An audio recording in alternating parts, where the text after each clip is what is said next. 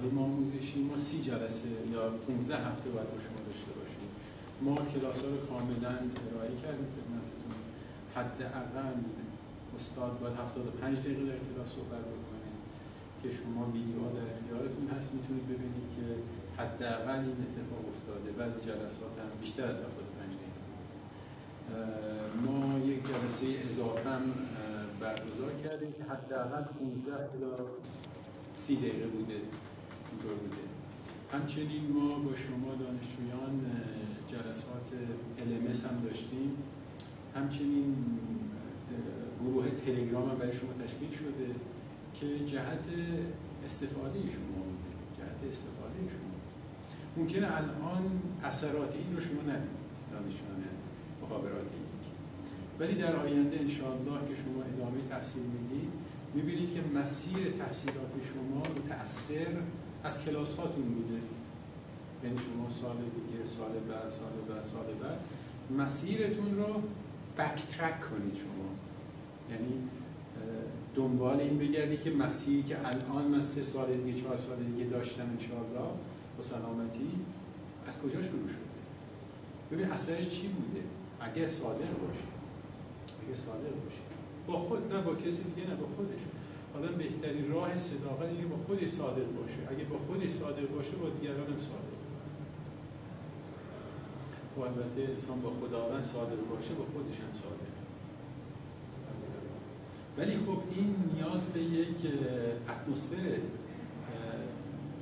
اتمسفر داره. اون اتمسفر این باشه که شما اون چی که باید ببینید و ببینید. اون مطالبی که ما داریم در اختیار شما می‌ذاریم از کتاب من کتاب بیارم امروز فراموشم مطالبی که گفتیم فصل کتاب آقای هیکل رو الان اواخر فصل چهار هستیم ما. سیلابس کلاس ما همینه. سیلابس ما سیلابس مصوب ما در اختیار شما گذاشتیم. من پیشنهاد می‌کنم اگر تا الان مطالعه نکردید دوباره مطالعه کنید. این الان زمان میشه. ببینید ما بر اساس اون چه که وزارت علوم گفته آیا مطالب برای شما ارائه کردیم یا نه. عمقی که کار کردیم ببینید بوده یا نه. مثال هایی که برای شما انجام شده ببینید بوده یا نه. کتاب در اختیار شما هست. ببینید اگر شما مطالعه می کردید با اون چه که برای شما ارائه شد به وسیله استاد وسیله کمک استاد و چه اندازه کمک کرد؟ البته شما باید کار کنید چون که دبستانی نیست که این کلاس ها که. ممکنه شما با یه دیدگاهی در این کلاس باشید به چیزی عادت کردید به چیزی عادت شد داده شدید که خب اون روال دانشگاهی ممکن باشه ممکن نباشه. قضاوتی شما بکنید شما در اختیارتون هست امکاناتی که داخل کشور رو ببینید خارج کشور رو ببینید. در اختیارتون هست و به زودی هم شما یا داخل کشور به یه دانشگاه دیگه منتقل میشید برای تحصیلات تکمیلی یا خارج کشور منتقل می‌خواید برید تحصیل ادامه تحصیل بدید. اثرش رو خواهید اثر اون که در کلاس مثلا این کلاس و کلاس خواهید و مطالبی که ما باز برای شما توضیح میدیم در ویدیوها اگر این بخواد نگارش بشه یه چیزی در حدود مثلا ده برابر باید نگارش بشه. یه چیزی معنیدار از توش در بیاد. تو ما توضیحات جلسه قبل درباره cross correlation رو برای شما دادیم. ماتریس cross correlation ماتریس autocorrelation اون به صرف روی تخته با دیدن انتقال پیدا می‌کنه. ولی اگه بیایم برای شما اینو بنویسیمش باید توضیحاتمون یه چیزی در در 20 صفحه بشه. همون کتاب هست کتاب هم اینطوره. شما مشاهده بکنید مطالبی که ما از کتاب استخراج کردیم برای شما داریم ارائه می‌کنیم یک پاراگراف نیستش که ولی برای اینکه ملموس بشه برای شما طوری ارائه می‌کنیم که انشاءالله شما متوجه بشید. و بر اساس اون تم مثلا اکسترا کردیتی که شما داشتید که قرار بودش که پنج شنبه به ما تحویل بدید 50 درصد دانشجو تحویل داد. یه مقدار یک نفر. شما اگه 17 نفر در کلاس باشید 9 نفر تحویل دادن 50 درصد به بالاست. این حکایت از چی حکایت یک پیغام داره به ما میده. یه پیغام پیغام اولش این هستش که 9 نفر وقت اضافه گذاشتن پیغام دیگرش اینه که هستش که 9 نفر اهمیت قائل بودن. پیغام دیگرش این هستش که 9 نفر کلاس دنبال می‌کنن. پیغام دیگرش این هست که ساعتی که دانشجوها تحویل دادن اوایل صبح بوده. پس یه زمان بسیار زیادی گذاشتن وقت گذاشتن شب احتمالا بیدار موندن. این پیغام دیگرش. پیغام دیگرش این هستش که دلشون تو این کار هست. به جای کارهای دیگری که میشه باشه در این دوران کرونا.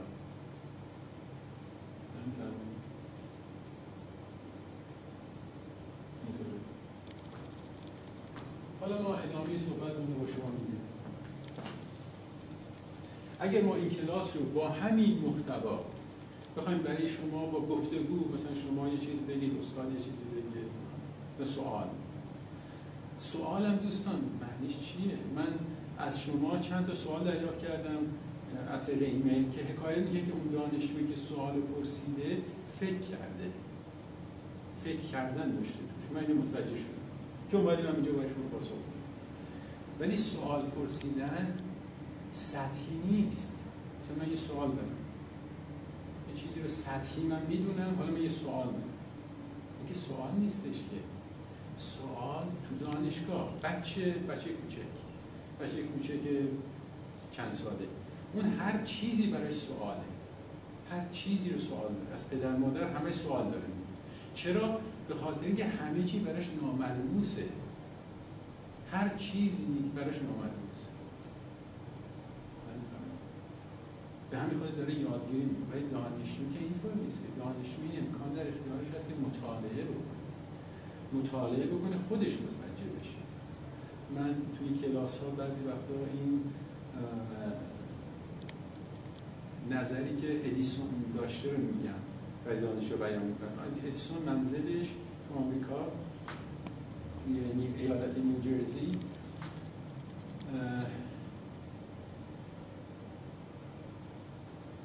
یه شهری اسم اون پیسکاتاوی یه شهر کوچیک تو نیوجرسی نیوجرسی خودش خیلی کوچیکه اون شهری خیلی کوچیکه تو ده در ده. منزل آقای ادیسون خیلی کوچکه. یعنی شما با سه چهار قدم ممکنه از اول خونه تا آخر خونه برید. بعد اینا از آقای ادیسون صحبت های قصاری که ایشون کردن گذاشتن به عنوان مثلا موزه. یکی از صحبت هایی که ایشون کردن این بوده که انسان ها فکر کردن دوست ندارن. ایشون گفته آقای ادیسون بعد پاسخ داده گفته چرا؟ به خاطر اینکه فکر کردن سخت. این صحبت آقای ادیسون فکر کردن سخت حالا دانشجو باید چه کار بکنه؟ دانشجو باید مطالبی که براش ارائه میشه مطالعه کنه. مطالعه. مثلا سطحی مطالعه کنه. مثلا روزنامه خوندنه. مثلا در مطالبی که تو مخابرات یک و دو دیگر است با روزنامه خوندن یکسانه. یا عمق باید داشته باشه. عمقی که همراه با تفکره. آیا با یک بار خواندن مثلا با یک بار خوندیم دیگه تموم شد. متوجه شد آیا اینطوره؟ یا باید چندین بار خونده بشه اگر تازه عقبه من در رابطه با این کلاس روی بستر مستحکمی قرار گرفته بوده باشه. پیش نیازها رو من خوب درک کردم خوب ارائه شده بریم اگر اینطوره. خب مطالب جدید آقای هیکن کتاب نوشتن آقای هیکن الان کانادا تشریف دارن. ایشون هم همین کلاس رو ارائه می‌کنن البته الان سنشون بالا رفته احتمالا تدریس ممکنه نه چند سال پیش شنیدم که ایشون سکته کرده بودن.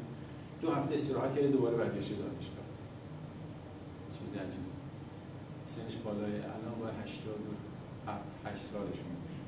خدا به سلامتی بده این کتاب برای ما نوشته عرض خدمتتون که عمق می‌خواد مطالعه فکر کردن عمق می‌خواد پیش زمینه می‌خواد سوال خوبی که چند تا از شما دانشجویان پرسیدید کار می‌کنید شما رو این مسائل که برای شما تدریس شده بود مطالعه داشتید خیلی عالی. ولی اگه ما بخوایم وقتی کلاس رو اینطوری بگذرونیم شما استاد پنج دقیقه صحبت کنه بعد چهار پنج تا سوال و بعد استاد یه چیزی بگه و بعد دوباره چهار پنج تا سوال دیگه و بعد بگذره دیگه 75 دقیقه تموم بشه. بعد چه مقدار برای شما منتقل شد؟ یه چیز ناچیزی. چه مقدار سیلابس باید گفته میشه چیز گسترده بود چه مقدار باید عمق داشت حتی بیشتر از گسترشش باید عمق داشت که مبانی فکری شما روی بستر مستحکمی قرار بگیره. که در آینده انشاءالله اون دسته از شما که extra credit رو رفتید انجام دادید خواهید دید. الان شما آینده رو نمی‌تونید ببینید. توقع هم نیست. الان شما آینده رو ببینید. کسی که کسانی که این مسیر رو رفتن می‌تونن ببینن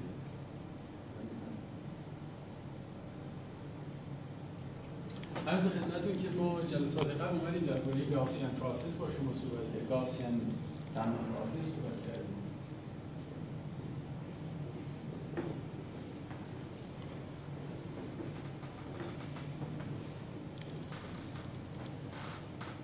گفتیم اونی هستش که PDF ش PDF ان nth order n dimensional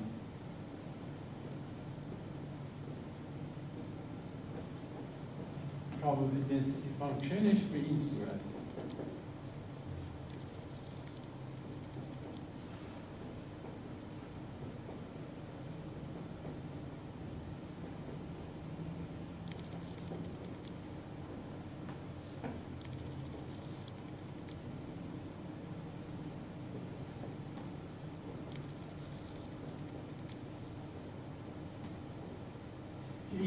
کوورینس ماتریسه از این رابطه به دست میاد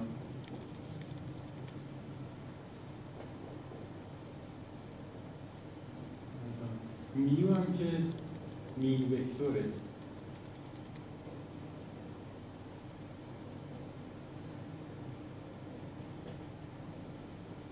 شما روی این هم می‌خواستین یه تمرین انجام بدید. ما درخواست نکردیم که اینو تحویل بدیم. ولی قرار شما برید فکر کنید در موردش قرار شما یه کاری خودتون انجام این توی کتاب های هیکل ایشون اومده یه مسئله هم حل کرده. یه مسئله خیلی بود که بهش میگن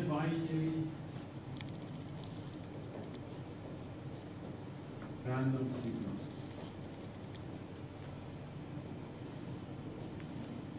binary random signal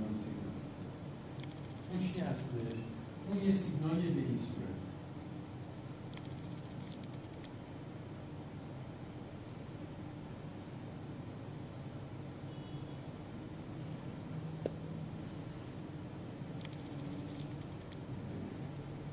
که اینطوریه که اینجا رو یک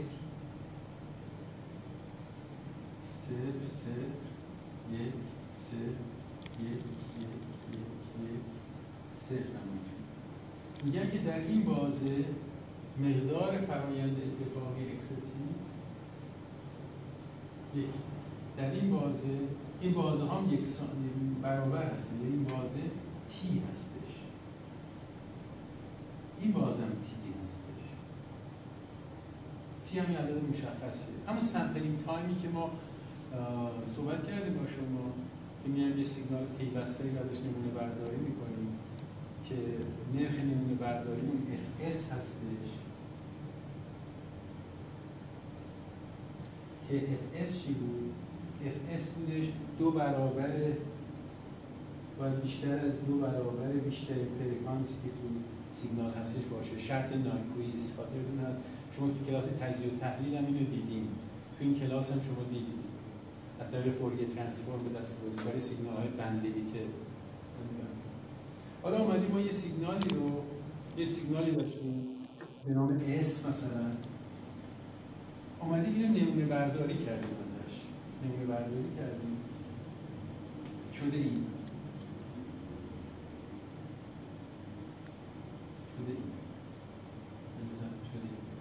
یا نمونه هاش هستن حالا اگه نمونه ها مثبت هستن اگه نمونه ها مثلا اینطوری داشته باشیم.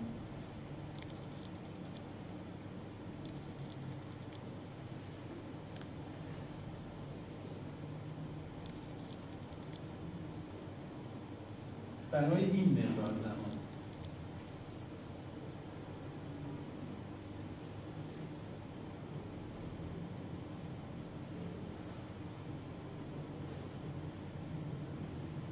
و اگر نمونه ها منفی هستن یک سیگنال دیگه داریم درست می‌کنیم که هستش منها یک. برای همین زمان.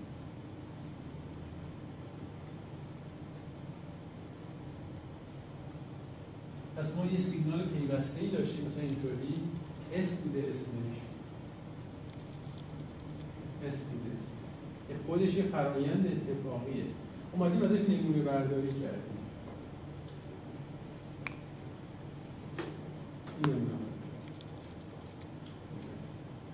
این نمونه. الان مثبته.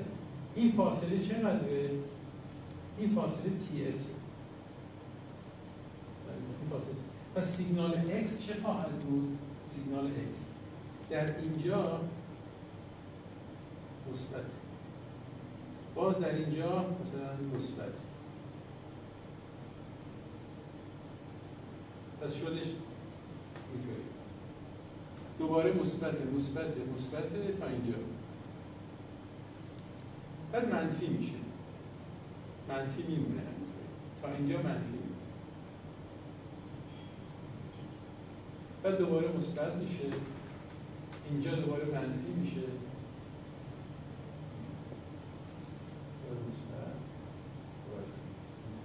و سیگنال اکس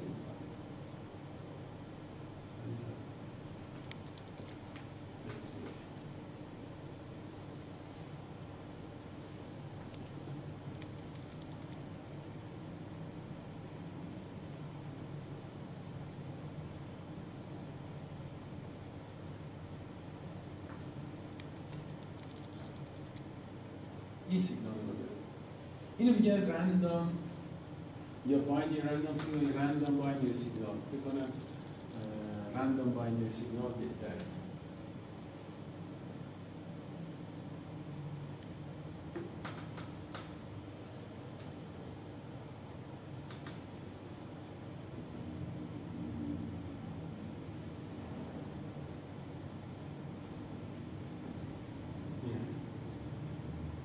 چون این سیگنال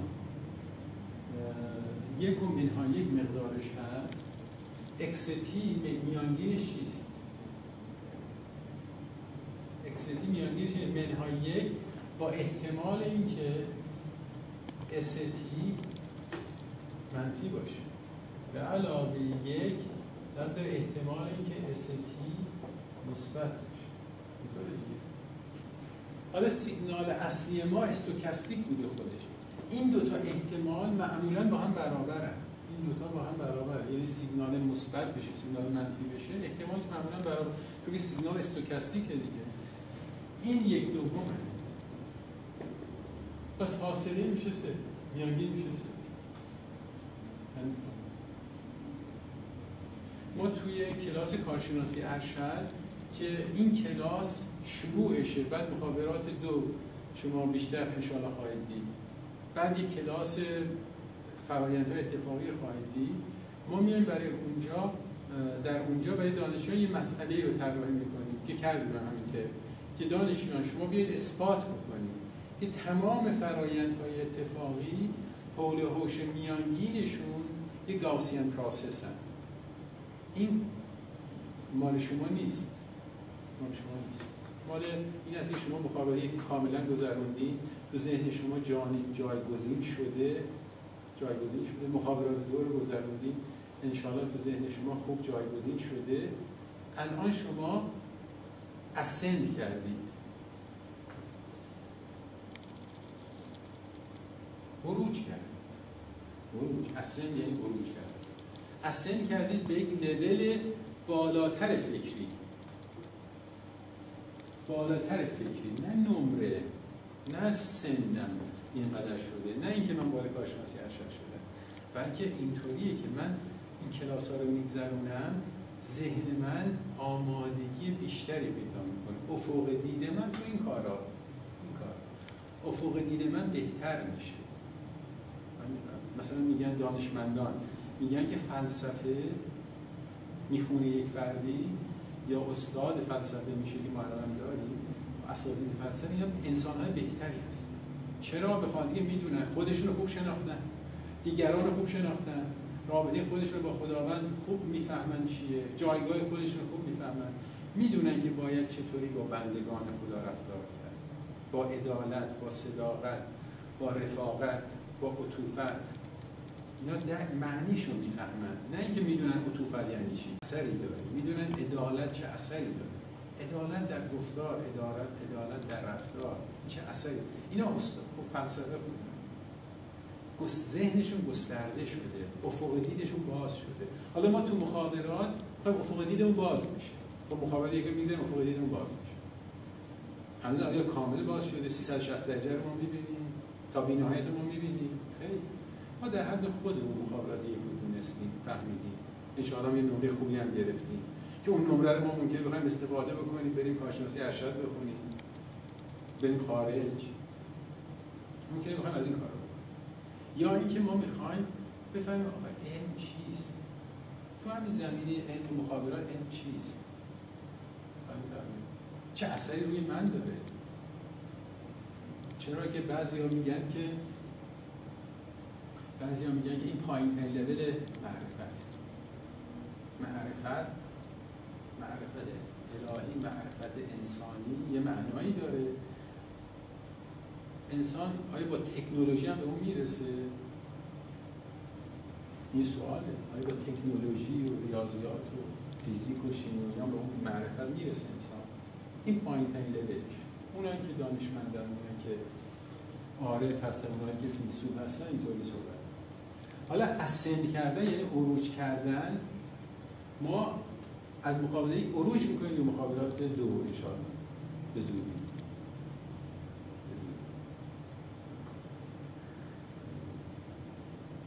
که ما گفتیم خدمتتون که به دانشجویان ارشد ما میگیم که شما بیاید اثبات بکنید که فرایندهای اتفاقی حول هوش میانگینشون گوسی هستن. حالا اینجا شما یه ورژن ساده شو می‌بینید. چی هستش فرایندهای اتفاقی رو میشه با دو لول نمایش. یک و یک این الان تقریب اونها شما اگه اینو ببینید قرمز رو ببینید آنم متوجه میشید که این سیگنال اس اصلی کجا مثبت بوده. مقدارش درک نمی‌کنید چی بوده ها مقادیرش چی بوده. فقط متوجه میشید در این بازه بله مثبت. اینطوری پس اینم یه تقریب برای اونه این یه تقریب برای اون. تو مخابرات دو خواهید دید انشاءالله. بیشتر تو مخابرات پیشرفته خواهید دید. ولی پله به پله نه اینکه حالا که من مخابره یادی خواهم برم مخابرات پیشرفته. نه اینطوری نیست. پله به پله هست همین پله های ابو ریحان پله به پله باید اومد بالا. نمیشه از پله یک پری پله پنجاه. اینجا هم شما دارید می‌بینید که یه تقریبی برای این هستش. ولی همین این رو دانشمندان توی مخابره امثال آقای هیکن و دیگر دانشمندان استفاده می‌کنن برای اینکه اطلاعات این رو منتقل کنن به گیرنده قرمز کمک می‌کنه ولی خیلی ساده است. چون که یک هایی رو درست کردن تا این نقطه ها رو درست کردن خیلی ساده. یک منهایی یک منهایی همین رو داشته باشید اطلاعات اینو فرستادیم اینجا. اینو در مقابله دو می‌بینید انشاءالله. هم اوایلش می‌بینید هم اواخرش. وقتی مبحث انتروپی مطرح و همچنین در مخابرات پیشرفته به مراتب بیشتر در جاهای مختلف حالا پس اشاره شد که یک فرایند اتفاقی مثل S اطلاعاتش میشه تقریب زد با فرایند اتفاقی مثل X ولی چرا میانگینش لازمه؟ چون که شما اگر می‌خواستی تقریب گوسی برای این پیدا بکنید برای فرایندی که من گوسی نیست. باید هولوش چه مقداری نگاه می‌کرد؟ هولوش میانگینش نگاه حالا اگر اون کار رو کرده شما برای گوسی چه چیز دیگری لازم دارید پس این الان شده یه وکتور صفر. این وکتور صفر. ولی یه چیز دیگه هم لازمه autocorrelation یا همون covariance ماتریس وقتی میانگین صفر باشه covariance ماتریس با autocorrelation ماتریس یکسان وقتی که میانگین صفر باشه covariance ماتریس با autocorrelation ماتریس یکسان این تو کتاب هست تا دوستان. اگه تونستین دست بذارید این کار اینجاست. اینو اگه ما بخوایم توضیح بدیم با این با, با گفتار سخت. مگر این کار بود؟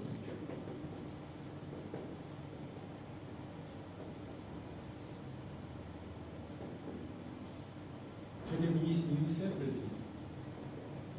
نیو وکتور صفر. نیو صفر. بعد نکته دیگری که حائز اهمیته اون دانشمندان اون اساتیدی که جزء فراهم می‌کنن که روی اینترنت هم فراهم فراوان فراهم هستش همه این دو روز هستن. حتی میفروشن. به جایی هستش که کنم جزوه رو میفروشن یه قیمت اون با دیدگاه خودش نوشته نه در دیدگاه ما. با دیدگاه خودش نوشته. از منظور خودش دیده syllabus ما رو مد نظر نداشته که. اصلا syllabus ما رو خبر نداره.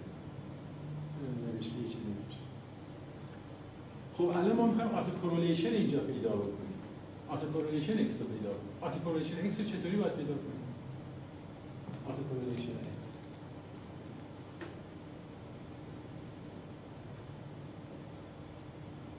این autocorrelation X چون که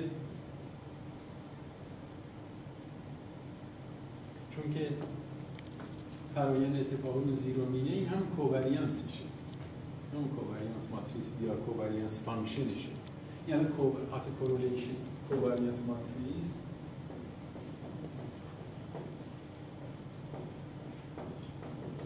و autocorrelation ماتریس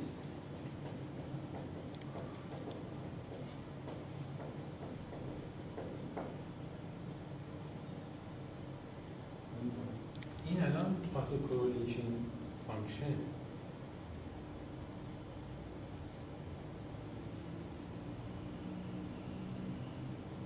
این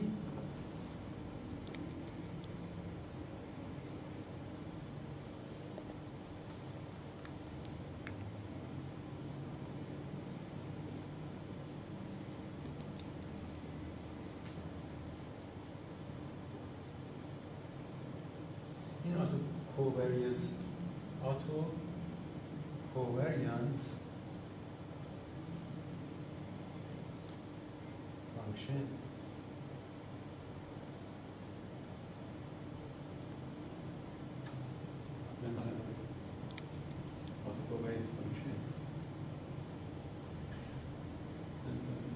همه کسایی که جزوه رو فراهم می‌کنن روی اینترنت هم در دسترس هستش این تقسیم بندی رو دارن.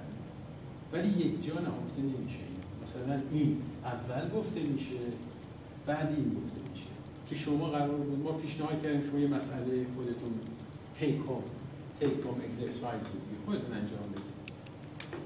احتمالا اون نه نفری که اکسترا انجام دادن خودشون فکر کردن به این مسئله. نشنیدم از کمک استاد که دانشجو کاری انجام داده باشن روی این.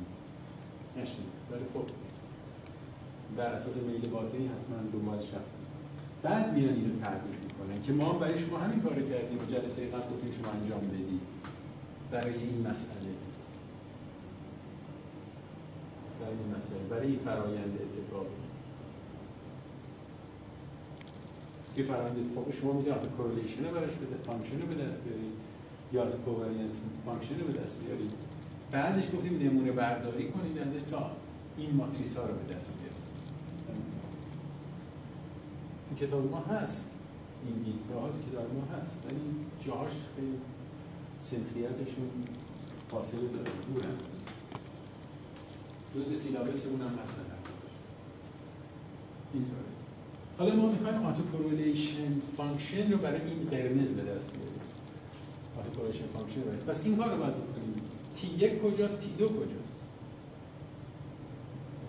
مثلا t یک اینجا باشه t دو اینجا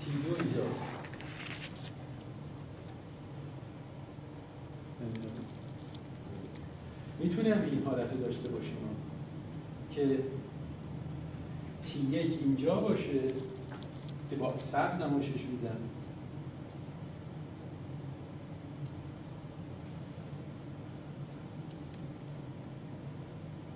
تی دو مثلا اینجا باشه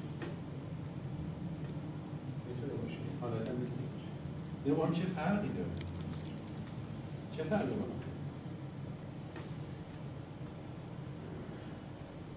اگر تی یک و تی دو طوری باشن که تی تفاضل این دوتا زمان که همین بازه باشه این مقدار تی بشه این مقدار تی بشه. X تی یک و x تی دو هم علامت هم واضح می‌دونم؟ چون که گفتیم هر تی ثانیه یک نمونه داره. بعد توی این که بازه باشن چون که مثبت ها مثل این حالت میشن مثبت میشن پس توی این بازه توی این بازی که اینجا شما مشاهده میفرمایید ما این یک رو داریم. یک یک داریم. اینه. اگه تی یک اینجا باشه تی دو هم اینجا باشه x تی یک ضرب x تی دو میشه مثبت. اگر اینجا باشه مثلا اینجا که منفیه.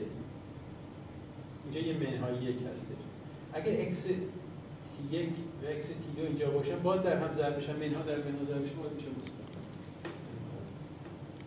پس این بازه برای ما مهمه. این بازه برای ما این بازه برای ما خب، حالا این نکته دیگر. نکته دیگر این که صفر در اینجا کجاست؟ صفر کجاست؟ این سیگنال ما داشتیم؟ صفر کجاست؟ نه.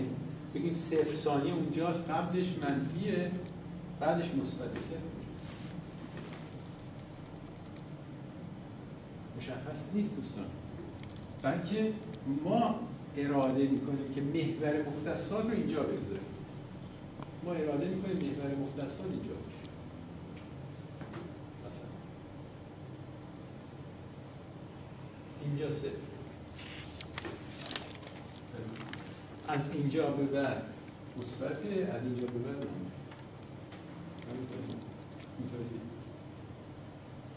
که ما رو میرسونه به این حالت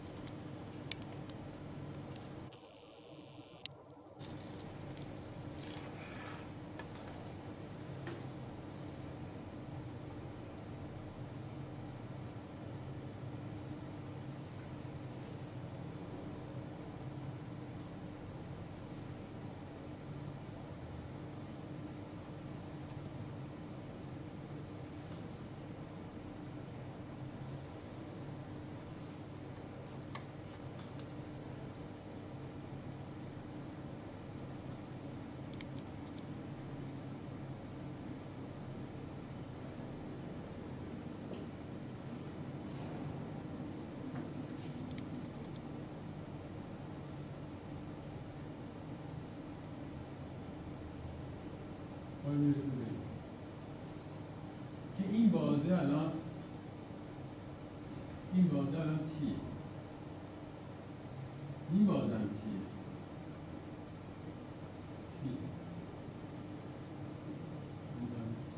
این نقطه که اینجا می‌بینید این مقداری که اینجا شما می‌بینید تی دیلیه دیلی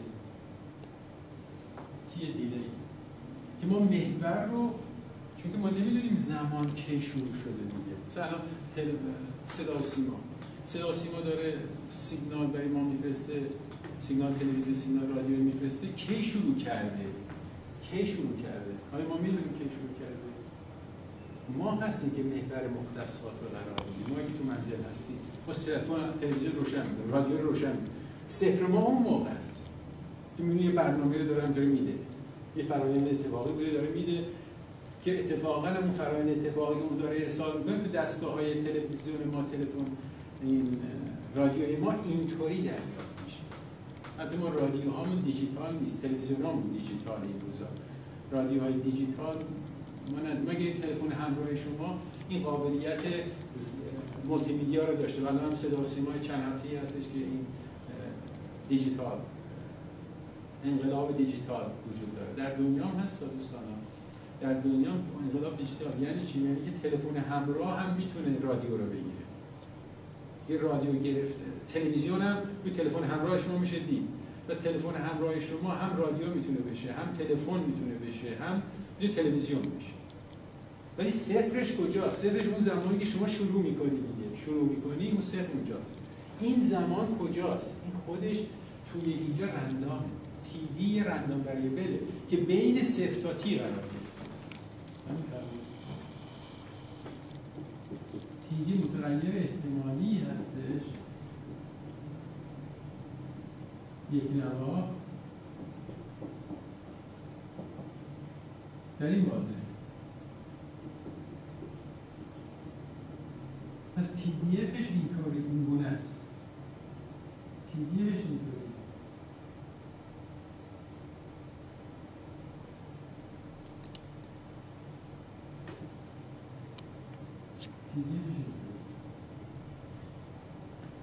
چون زمان ما تلفن رو تلویزیون رو روشن کردیم ما رادیو رو روشن کردیم ما تلفن هم رو روشن کردیم.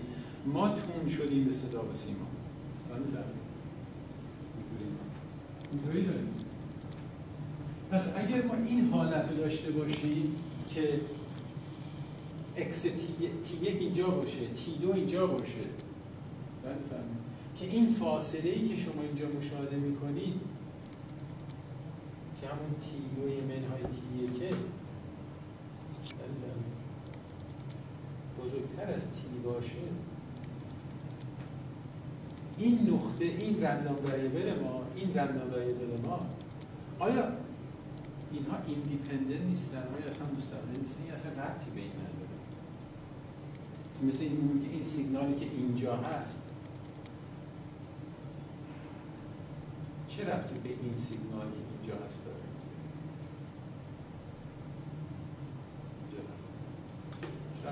می‌تونست مثبت باشه می‌تونست منفی باشه. اینا independent اینا independent یعنی اگر ما این شرط داشته باشیم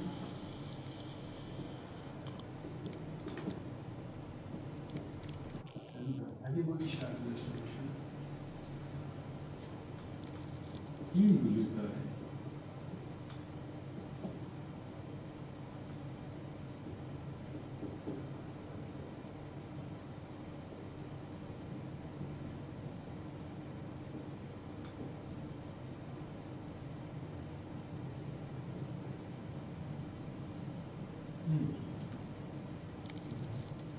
ما اینو اثبات کردیم صفره. اون یکی رو اثبات کردیم صفره. این دوتا صفر هستن. پس حاصل این صفر. حاصل این مقدار صفر. autocorrelation صفر شده. برای این بازه. برای این بازه autocorrelation صفر. برای این بازه autocorrelation صفر. ولی حالا اگر این حالت باشه که این delay ی که شما اینجا می‌بینید کوچکتر از این باشه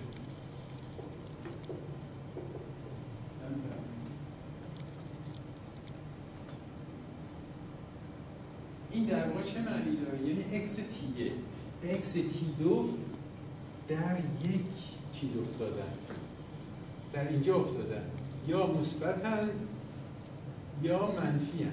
اینجا یعنی تی یک یا تی دو یا منفی که این بازی چیه؟ این بازی کلش چیه؟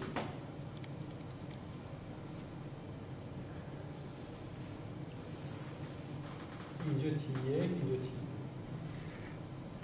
که حاصل ضربیه چی میشه؟ میشه مثبت. حاصل ضربیه میشه مثبت. ولی با این فرض پس این expected value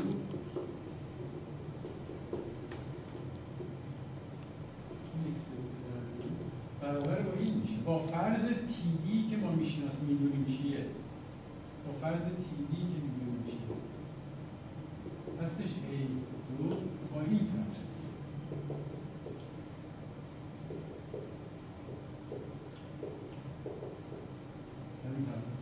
حالا می‌دونیم که تیدی که تایم دیلی باشه چی هستش؟ که رندوم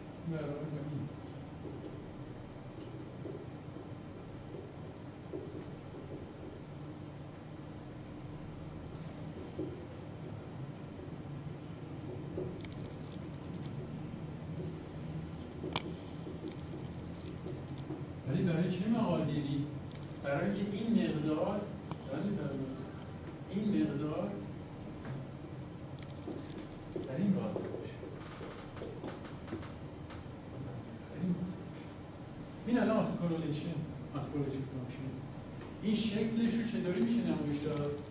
چون که می‌بینید که autocorrelation شد تابعی از lag. تابعی از lag زمانی.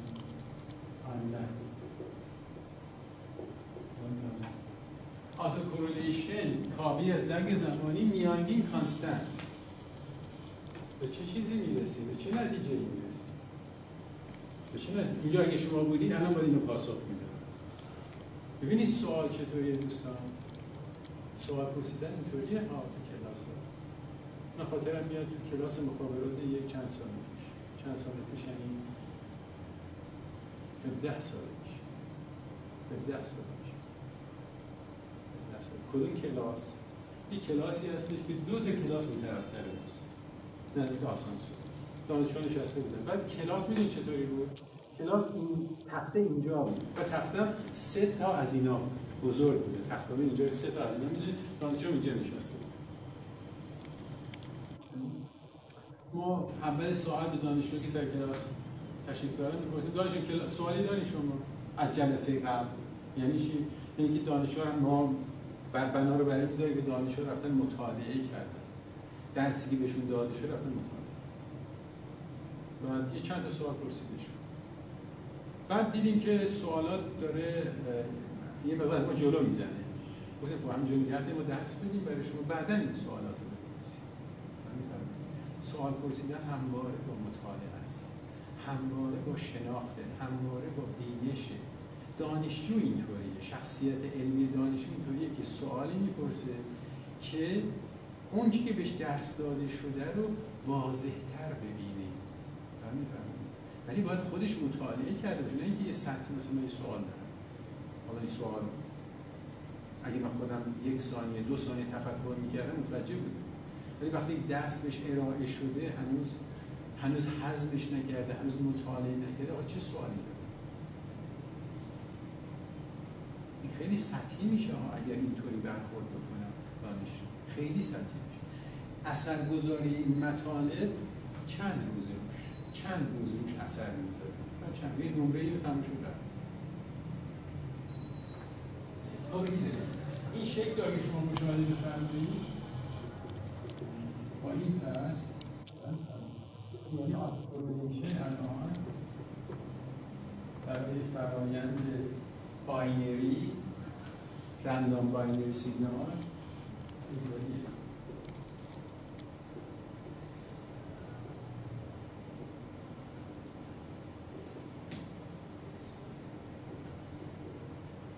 که اینجا رو آقای هیکین به جای که یک و منهای بگیره گفتن A و منهای حالا می‌دونی چرا این کارو کردن؟ چون که در مخابرات دو میگن که من سیگنالم رو بله فرمایید میان quantize می‌کنم quantize این پایین ترین level quantization این بالاترین level quantization ایشون مبانی مطالب بعدی رو تو مطالب فصل پایین تر این شکل شما ترسیم بکنید به این صورت؟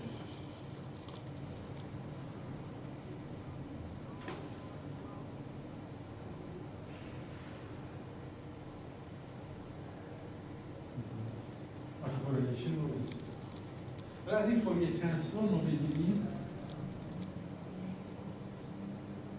Fourier transform بگیریم به این می‌رسیم. power spectrum می‌رسیم Fourier transform Fourier transform مثلث.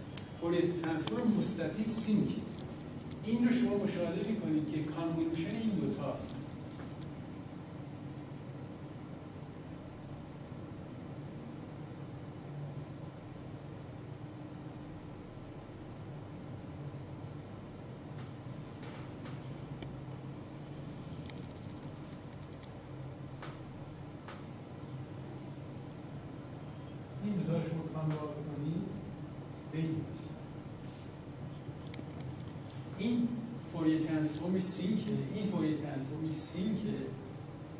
دو تا sinc در هم ضرب شدن sinc این حاصل میشه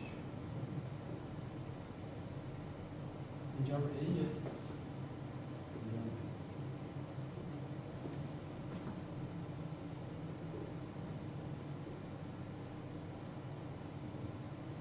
این شکلی این رو ترسیم بکنید به این صورت. کار شکلش رو ترسیم بکنید.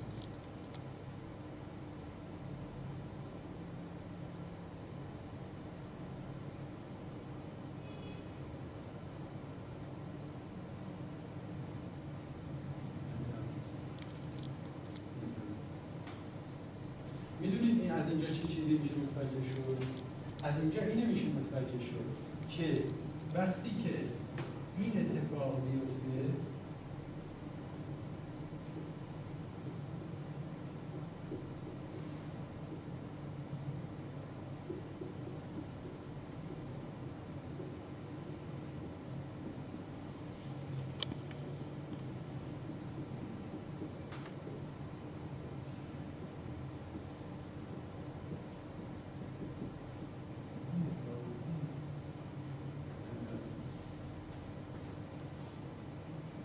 از اینجا چه چیز؟ از این که واضحه دیگه چرا؟ چون که صفر آت صفر باشه. آت صفر باشه یعنی که دو تا رندوم وریبل چی هستن؟ دو تا رندوم وریبل آنکورولیتدن و از طرفی چون که میانگینشون هم صفر هستش اون دو تا رندوم وریبلی که آنکورولیتد هستن میانگینشون هم صفره ارتاگنال ارتاگنال یعنی وقتی که این برقرار باشه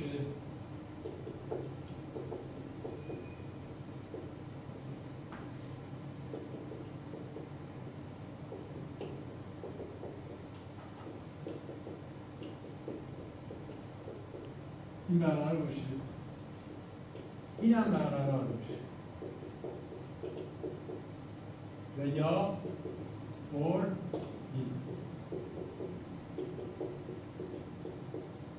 یا بوف یا هر دو تا برقرار باشه برقرار باشه می‌دونی معنی چی معنیش این هستش که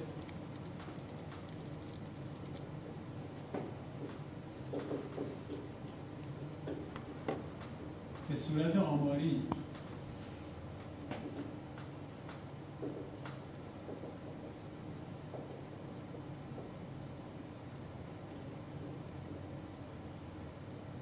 ما دیدیم که نه نفر از شما پروژه رو پروژه هم اسمشو بذارید و اکسترا کردی ازش بگذارید انجام دادن. خب اون کسایی که تحویل ندادن ممکنه مشکلی داشتن. مشکلی داشتن. ممکنه این مشکل هم خیلی موجه هم باشه. ولی من به اون دسته دانشجویانی که تحویل ندادم و ما می‌دونیم هم که با توجه به میان ترم شما زحمت کشید. می‌دونیم. تحویل ندادن حالا اکسترا کردیت شما نمی‌گیرید. ولی برید انجام خودتون برید انجام بدید. خودتون محروم نکنید از این ممارست از این وقتی که دارید. محروم نکنید برای شما این لازمه. در این مقطعی که شما هستید در این سنی که شما هستید این لازمه. چرا که این سبب این میشه؟ ذهن شما اسن می‌کنه. عروج فکری پیدا می‌کنه. بالا میاد. ارتقاء فکری پیدا افق دیدتون بازتر میشه. ممکن اون دست از دانشان تبدیل ندادن مشکلی داشتن. همه هم می‌تونن داشته باشه همه انسان ها می‌تونن مشکلی براشون به وجود بیاد. یه کاری رو اولویتش رو بالا ندید ولی حالا زمان که ممکنی داشته باشید برید انجام بدید. هر چقدر انجام بدید باز مفیده. هر چقدر بیشتر انجام بدید باز مفیده. اینه. حالا از اینجا ما اینو متوجه میشیم. اینو از اینجا چی رو ما متوجه میشیم؟ که این دارای صفرهایی هستش در اینجا. صفر. در یه جایی پاور اسپکتروم در یه جایی صفر میشه. این چه معنی داره؟ معنیش این هستش که در این سیگنال سی لول وجود داره. سی لول وجود که اون سی لول هم هر کپیتال تی ثانیه داره اتفاق میفته ببینید اینجا رو. تی بعد دوباره تی.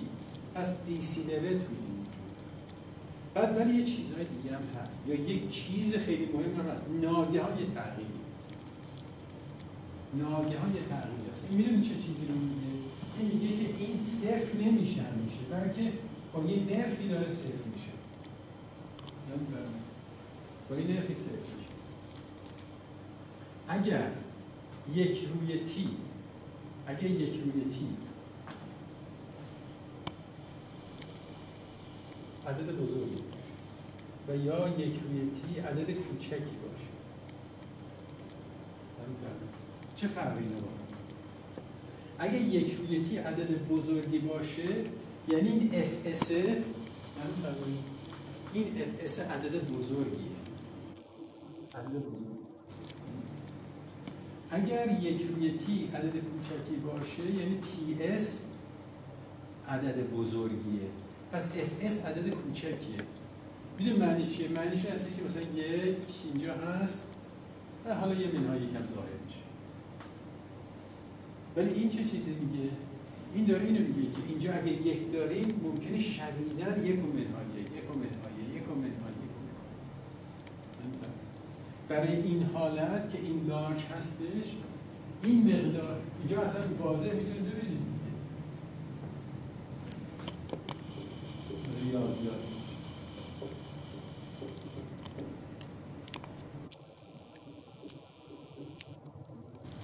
اس عدد بزرگی باشه این عدد این تابع خیلی آروم به سمت صفر میره یعنی اینطوری میشه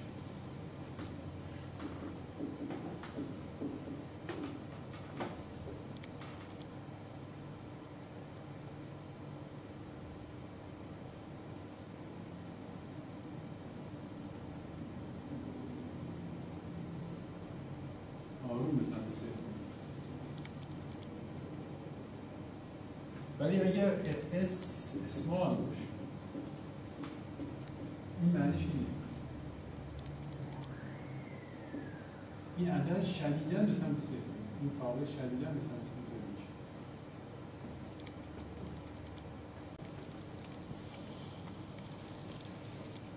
پس ما اینو داریم. که این random binary signal random binary signal random binary signal آقای این مسئله رو یه صحبت دیگه. ما اینو برای مخابرات یک انجام دادیم. همین مسئله رو ما برای مخابرات دو انجام میدیم. با یک رویکرد دیگر یک توانمندی های دیگری رو شما اونجا در اختیارتون قرار خواهد گرفت. اما اوایل ترم مخابرات دو هم هست. همین مسئله رو شما توی فرایندهای اتفاقی انجام می‌دید با یه رویکرد دیگری. که اون روی کرد نیاز هستش برای مخابرات پیشرفته. ولی برای مخابرات یک همین این لازم همین دیدگاه. خود آقای هیکن هم اینو مطرح می‌کنن. خود آقای هیکن هم اولش تو مخابرات یک همون فصل چهار باشه. ادیشن سومش که ادیشن پنجمش هم با همین باشه. همین دیدگاه رو مطرح می‌کنه بعد تو فصل بعدی فکر کنم پنج شیش اینا باشه. نشون میان عوض می‌کنن. بعد یه در ما این دوست بنابراین بیس که اینجا رو شما دقیقا میفرمایید. وقتی که fs عدد بزرگی باشه یعنی یعنی که تبدیل یک از یک به منهای یک خیلی شدید در طی بازه‌ی زمانی اتفاق میفته در این بازه‌ی زمانی خیلی شدید. اینو میگن high frequency high frequency signal وقتی تعداد دفعات یک و منهایی داره زیاد میشه مثل این است که این سیگنال داره شدید تغییرات می‌کنه. این سیگنال S high frequency بوده. وقتی ما تبدیلش کردیم به یک و منهای فرآیند X رو درست کردیم به این صورت یک و منهایی داره زیاد میشه. این PSD power spectrum ش شکل چون که s large هستش ناگهان صفر میشه. ناگهان صفر. شبیه فرمولش sinc به قوه دو هستش. ولی argument sinc به قوه دو یه عدد چی هستش؟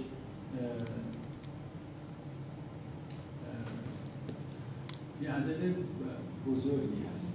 اسمال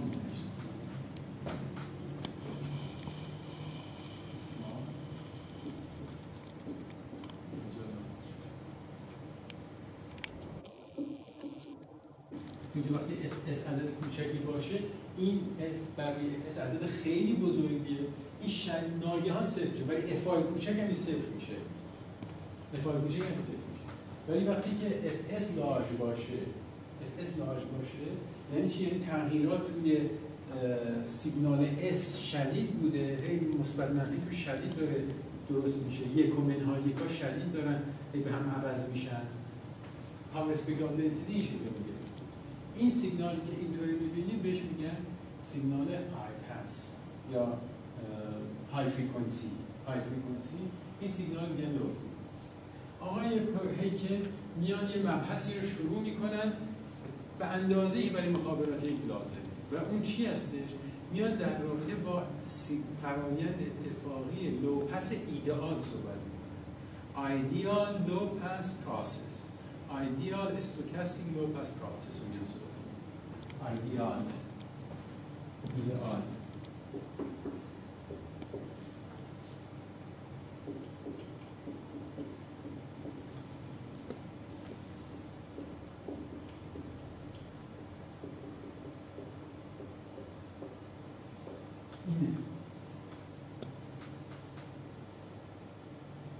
spectrum به این صورت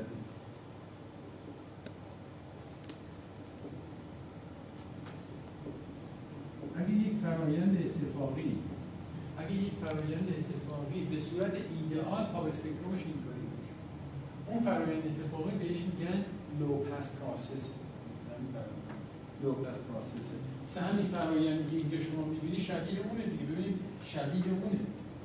که صفر میشه بعدش.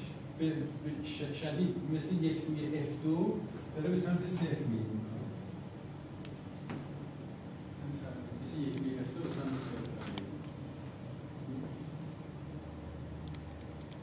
این ایدئال حالا توی کلاس بیشتر بالاتری ما میایم مثلا band pass process band pass process ایده مخابرات دو. band pass process ایدئال رو صحبت می‌کنیم. میایم high pass process ایدئال رو صحبت می‌کنیم. میگن اونجا بیشتر می‌بینی شما power spectrum اگر به این صورت به صورت ایدئال باشه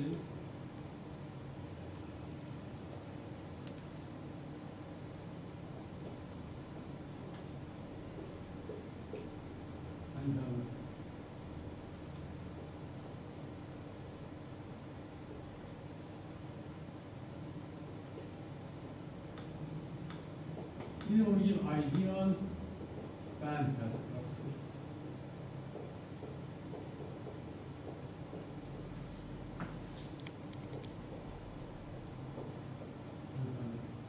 اگر فرایند اتفاقی ما دارای چنین power spectrum به صورت ایدئال باشه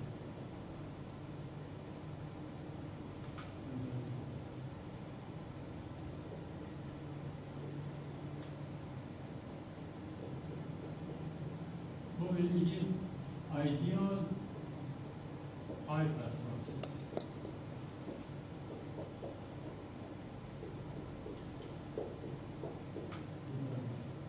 یه حالت دیگه هم وجود داره که ما توی مهندسی های ما دیده نمیشه ولی جاهای دیگر هست. تو جاهای دیگه هست. اینطوریه.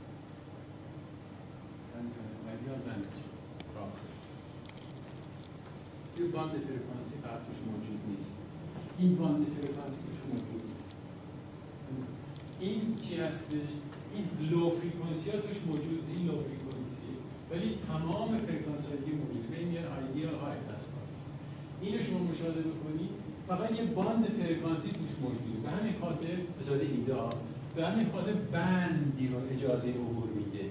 یه باند فرکانسی رو فقط توی سیگنال شما موجود هست.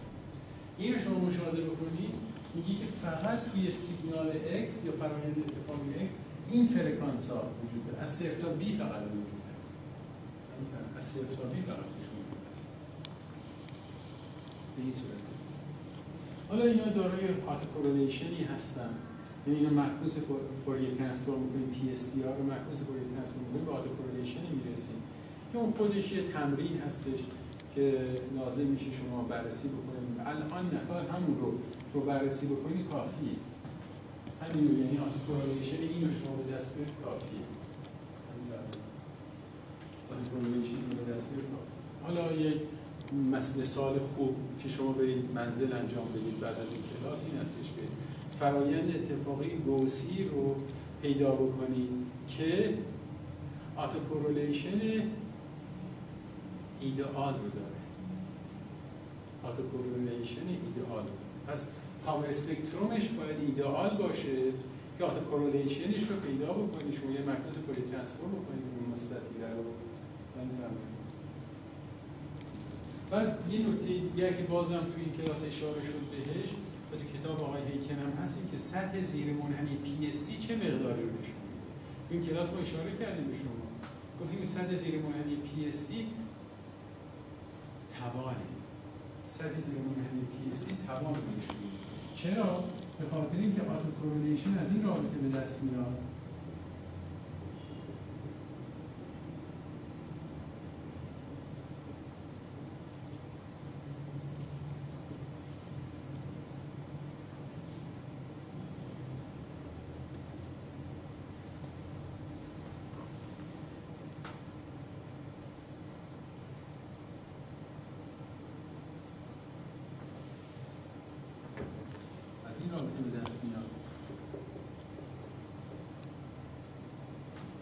اگر شما تا رو صفر بگذاری تا رو صفر بگذاری به این می‌رسید به این رابطه می‌رسید به این رابطه می‌رسید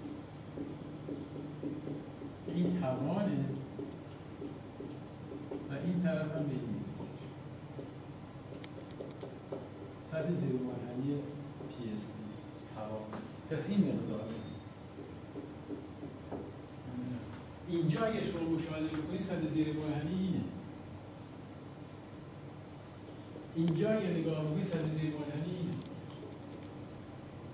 چه نتیجه ای می‌گیریم سطح زیر منحنی بی نهایته پس فرایندهای اتفاقی که high pass هستن اونها توان infinite دارن.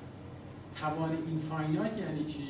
یعنی اینکه مقدار فرایند اتفاقی می‌تونه بعد از یک لحظه ای یه چشم زدن یک لحظه ای مقادیر منهای بینایت بالا بینایت ناگهان تغییر یه فرآیند اتفاقی مثلا اینطوری داره رفتار می‌کنه. لحظه ای بعد ممکنه مقدارش بالا بینایت باشه یا منهای بینایت باشه مثلا اینطوری باشه یا اینطوری باشه. همین چیزی توان اینفاینایت یعنی.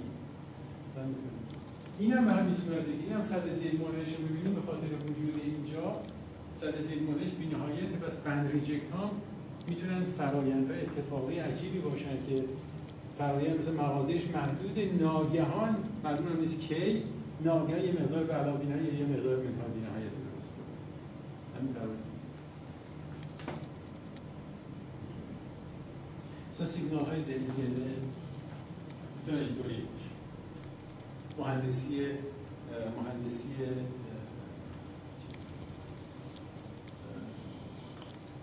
عمران. سازه و عمران.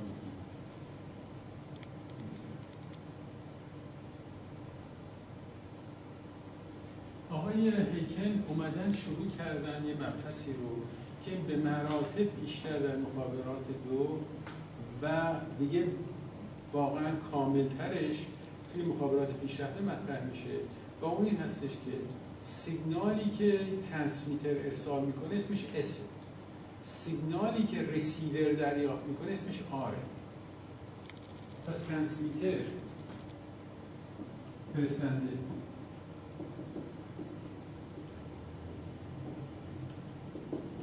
فرستنده سیگنال اس رو ارسال می‌کنه. اینطوریه. این اگه فرستنده ما باشه سیگنالی که ارسال می‌کنه اسمش اسم گیرنده که رسیوره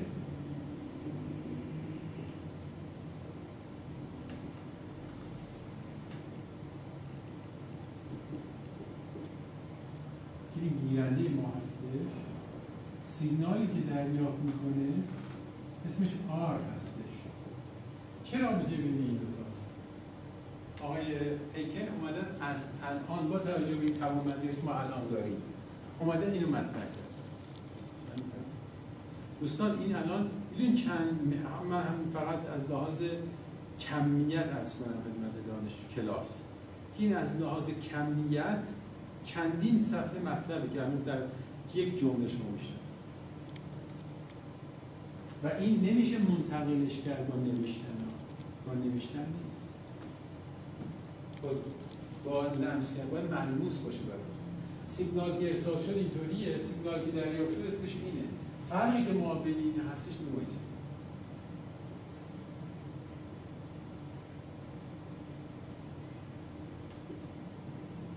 نویز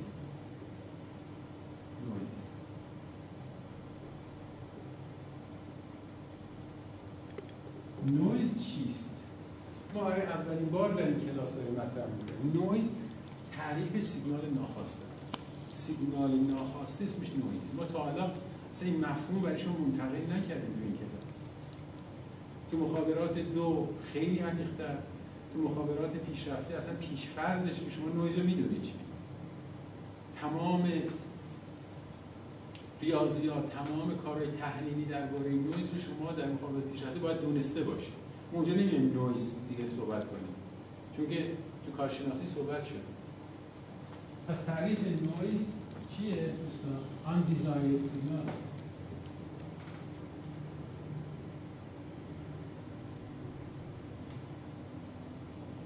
undesired signal سیگنال ناخواسته. غیر مطلوب. الان توی این کلاس اگه شما تو کلاس حضور داشتید صدای استاد سیگنال مطلوبه. گیرنده گوش انسانه گوش دانشجو. چه سیگنالی رو دریافت می‌کنه؟ سیگنالی که استاد، صحبت استاده رو داره متوجه میشه. به علاوه چیزهای دیگه. اگر اینجا شما بودید صدای این تهویه رو شما میشنوید. ما من دارم میشنوم. ولی اونم به گوش شما می‌رسه اگه اون تهویه انتهای کلاس هم روشن بود صدای اونم به گوش شما خواهی نخواهی می‌رسید. نمی‌تونستین کاری بکنید. همراه با همین صدا اون صداهای دیگه هم میاد اگه دانشجوهای دیگه بیرون کلاس داشتن صحبت می‌کردن یا سر و صدایی هم بیرون کلاس بود اون صدا به شما می‌رسه اون سیگنال نامطلوب. اینو میگن نویز. نویز این. شما اینجا هستید که استاد بشنوید. اینجا نیستید که مثلا صدای اینم بشنوید که. این داره کمک می‌کنه که اتاق سرد نباشه. که تو تابستون اتاق گرم نباشه. ولی اینم به اجبار داره به گوش ما میده. گوش ما نمی‌تونه کاری بکنه. داره می‌گیره. ولی مغز انسان اونقدر پیشرفته هستش وقتی به صدای استاد داره گوش می‌کنه این صدا رو نمیشنوه. این خاصیت مغز انسان. که می‌تونه واقعا چیکار بکنه؟ denoising انجام بده. مغز انسان می‌تونه denoising انجام بده. این نویز زدایی بکنه این خاصیت مغز انسان هست. حالا می‌دونید توی مخابرات چه معنی چه چیزی هست؟ مال مخابرات یک نیست مال مخابرات یک نیست اگر R برابر با S بود مفهومی برای مخابرات دلیلی برای مخابرات وجود نداشت. مخابرات بی‌معنی بود که transmitter S رو ارسال کرده گیرندم S رو دریافت کرده. مفهوم اطلاعات اینجا دیگه می‌رفت سوال. شما الان تو کلاس هستید برای چی؟ برای اینکه اطلاعات رو بشنوید. آیا از قبل شما اطلاعات می‌دونستید چیه؟ نمی‌دونستید که. اگه می‌دونستید که لزومی به انتقال اطلاعات نبود. این الان شروع مفهوم اطلاعات هستش که هدف مخابراته. هدف مخابرات انتقال اطلاعات. که اواخر, فر... اواخر کلاس مخابرات دو این برای شما صحبت میشه. ولی پایه هاش در کجا گذاشته میشه؟ در مخابرات یک گذاشته میشه. بعد با توجه به اینکه مخابرات دو مفهوم اطلاعات به دانشجو منتقل کرده تو مخابرات پیشرفته این میادش استفاده میشه ازش. که اینو تسری بده به زمینه های جزئی تر توی مخابرات